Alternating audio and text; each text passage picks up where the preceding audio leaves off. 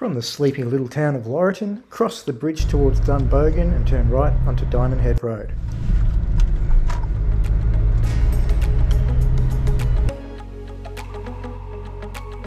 The road conditions can vary quite a lot, so if you're not in a four-wheel drive or you're towing a van, I do suggest you take it easy.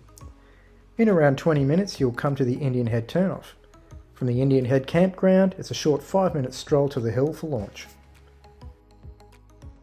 Before flying, register and become a member at mncf.tidyhq.com. Site guides and contacts can also be found at siteguide.org.au.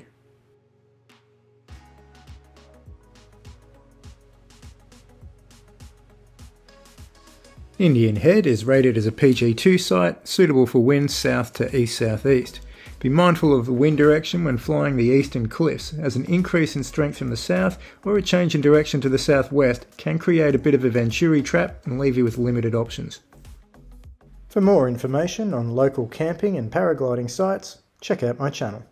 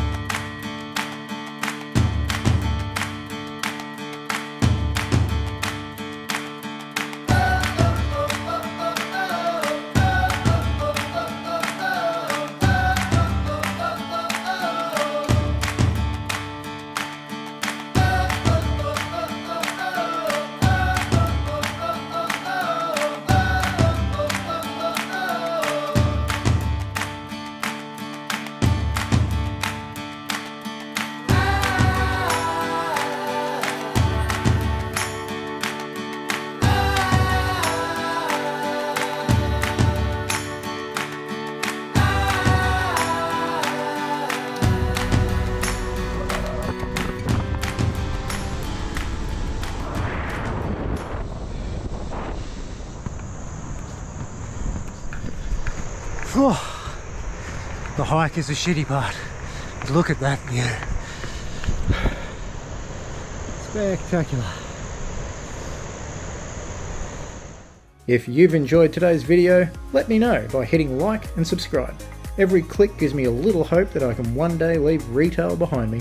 Until next time, this is Dave, signing out.